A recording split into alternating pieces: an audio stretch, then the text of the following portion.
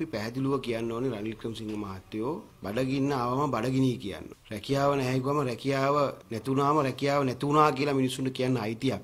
ඒ වගේම තමන්ගේ එදිනෙදා අත්‍යවශ්‍ය අවශ්‍යතාවයන් කප්පාදු වෙනකොට ඒ කප්පාදු වීම හරහා සිද්ධ වෙන්නා වූ සමාජ පීඩනය පවුල් පවුල්වල තිබෙන්නා වූ ප්‍රශ්න ඒ පවුලේ ජනතාවට රටේ ජනතාවට තමන්ට මේ සිදුවෙන අඩත්තේටන් හිරිහැරගෙන කතා කිරීමේ අයිතිය එය ප්‍රදර්ශනය කිරීමේ අයිතියට විරෝධය පෑමේ අයිතිය ප්‍රජාතන්ත්‍රවාදී රටක තිබෙන්නා වූ ව්‍යවස්ථාව තුළින් නිදහස ලැබිලා තියෙනවා. ඒ දැන් රනිල් වික්‍රමසිංහ මහත්තයා මොකද කරන්නේ? රනිල් වික්‍රමසිංහ ජනාධිපතිවරයාගේ ආණ්ඩුව මේ රටේ ජනතාවගේ අයිතීන් අවශ්‍යතාවයන් වළක්වීම වෙනුවෙන් අනීතික කටයුතු ක්‍රියාත්මක කිරීම සඳහා එළඹී ඇති බව අපට පේනවා. මේ සඳහා මැදිහත් වෙන ආරක්ෂාව කටයුතු කරන නිලධාරීන් අපි ඉතා වගකීමෙන් ඉල්ලනවා. මේ කතා කරන්නේ ඔබේ ප්‍රශ්නේ පොලිස් නිලධාරීන්ගේ පවුලේ තියෙන ප්‍රශ්නේ ගැන කතා කරන්නේ. හමුදාවේ නිලධාරීන්ගේ ගෙදර තියෙන ප්‍රශ්නේ ගැන කතා කරන්නේ. තමන්ගේ ගෙදර තමන්ගේ දරුවට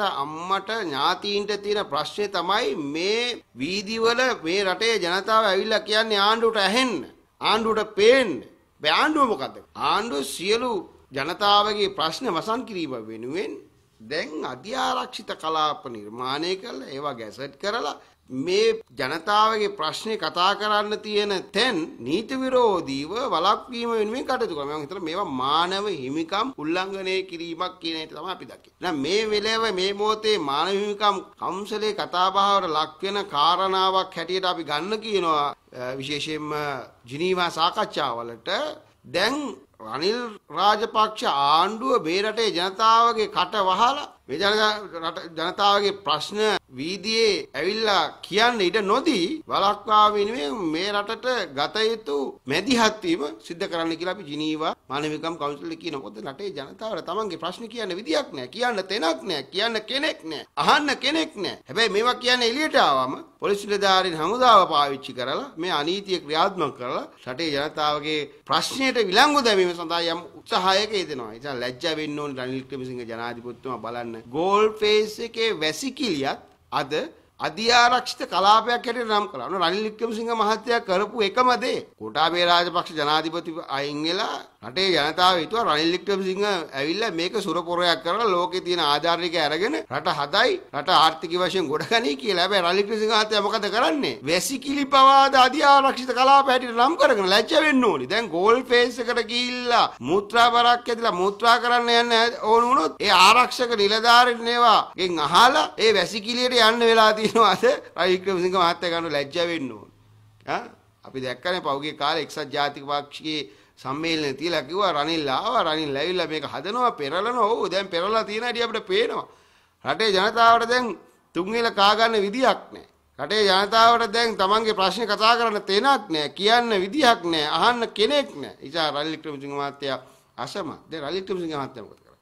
දැන් එතුමා ජාත්‍යන්තර වශයෙන් ශෝකය ප්‍රකාශ කරන සවාරිය යනවා රාජ්‍ය නායකයෝ මැරෙනවා අපි ඒකට ශෝකය ප්‍රකාශ කරන්න ඕනේ තමයි දැන් මොකද්ද මේ රනිල් වික්‍රමසිංහ ජනාධිපතිතුමා රටේ ජනතාව කන්න නැතුව මහපාරේ මැරෙනවා. ඒකට ශෝකය ප්‍රකාශ කරන්න ඒ පවුල් රකින්න රනිල් වික්‍රමසිංහ ජනාධිපතිට අවශ්‍ය නැහැ අවස්ථාවක් නැහැ. හැබැයි රනිල් වික්‍රමසිංහ ජනාධිපතිතුමා ලෝකේ නායකයොන්ට ගිහිල්ලා ශෝක ප්‍රකාශ කරලා රවුම් කාලා සවාරි ගහලා එනවා. එයාගේ අවසාන කාලේ අපට හිතන හැටියට එයාට පෞගේ කාලේ නොලැබිච්ච සතුට සන්තෝෂය ලබා ගැනීම වෙනුවෙන් කටයුතු කරනවා හැරෙන්න රටේ ජනතාව මහපාරේ මැරිලා යනවා කන්න නැතුව මැරිලා යනවා.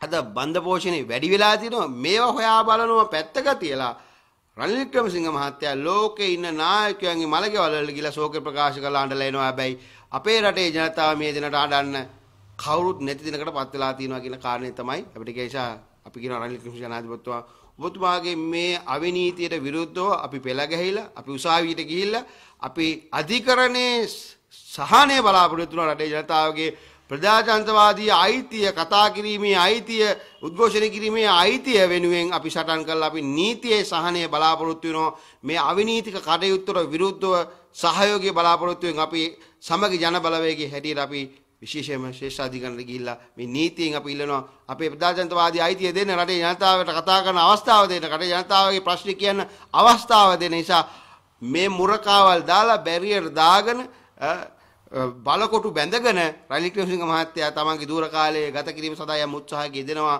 හැබැයි ඒව වෙන්නේ නැහැ රටේ ජනතාවට අපි කියනවා තරුණව විතරක් නෙමෙයි වැඩිහිටියෝ මතක තියාගන්න. මේ තරුණ ප්‍රජාව තමන්ගේ අනාගතය වෙනුවෙන් සටන් කරනවා නම් මේ වැඩිහිටියෝ දෙමාපියෝ තමන්ගේ දරුවගේ අනාගතය හදන්න පෙළ ගැහෙන්න සූදානම් වෙන්න රනිල් රාජපක්ෂ ආණ්ඩුව ගෙදර යවන්න කියන කාරණේ මිලාවේ මතක් කරලා. ඒ වගේම තමයි දැන් මේ විදුලි බල අරුබුදේ.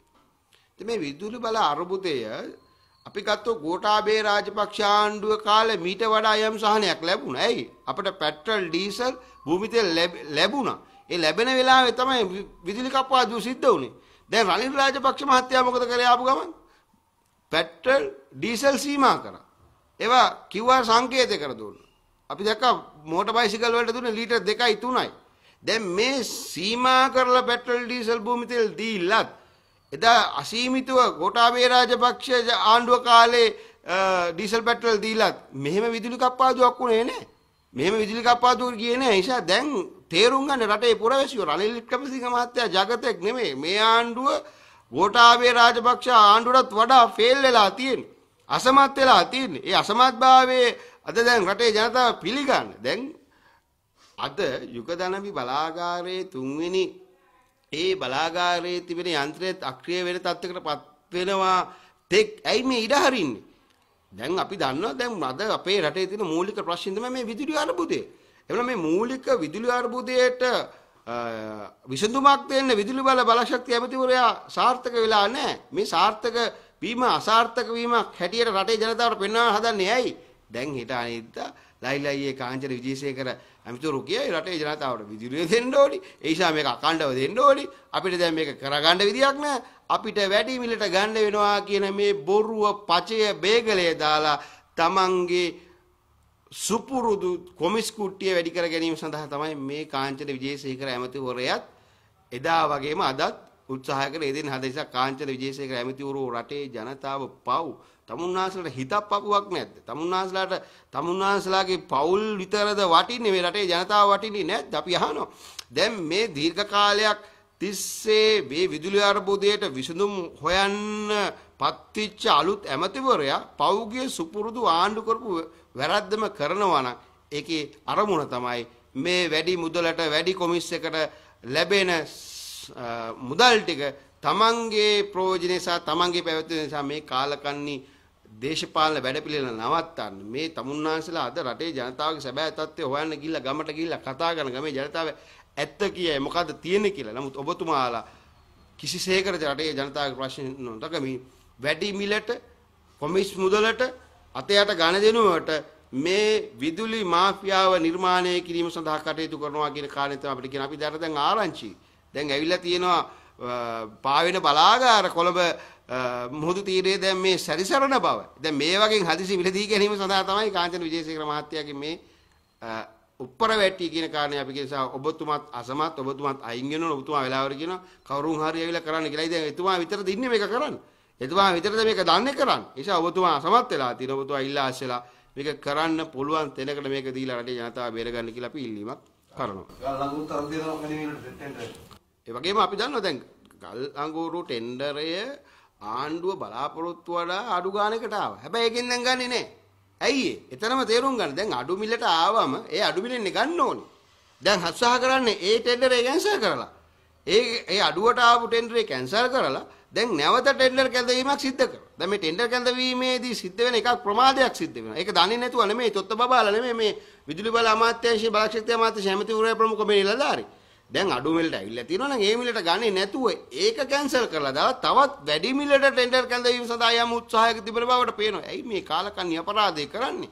රටේ ජනතාවගේ දෛනික ජීවිතයේ බොහොම හරි අමාරුවෙන් මෙයා ජනතාව ගැට ගහ ගන්න හදන එකත් කාලකන්ණි පාලකයෝ තමන්ගේ බලලෝභී කෑදලකමට කොමිස් කුට්ටිය ගවා ගැනීම වෙනුවෙන් මේ වගේ හැසිරීම නිന്ദා සහගතව මං හිතන්නේ මේවට මේවට උඩ ඉන්න දෙයියෝ බලන්න ඕනේ මේ ඇමතිවරුන් සහ මේ ආණ්ඩුවට. නිසා අපි කියනවා වැඩි කාලයක් යන්න බෑ වැඩි කාලයක් යන්න දෙන්නේ නැහැ යන්න දිය යුතු නැහැ. රටේ ජනතාවට කියනවා රනිල් රාජපක්ෂගේ අවිනීතියට බය වෙන්න එපා. තමුන්නාන්සලා එකට එක්වන්න සමග ජන බලවේගයත් එක්ක මේ රටේ ජනතාව මේ දුර්ජාන්ත පාලනය සහ කාලකන්ණි පාලනය මුදවගෙන රටට ගැළපෙන ඔබින රටේ ජනතාව බලාපොරොත්තු වෙන ඒ සැබෑ දේශපාලන රටේ අනාගතය නිර්මාණය කිරීම වෙනුවෙන් අපි එකට අත්වල බැඳගමු කියන ඉල්ලීම.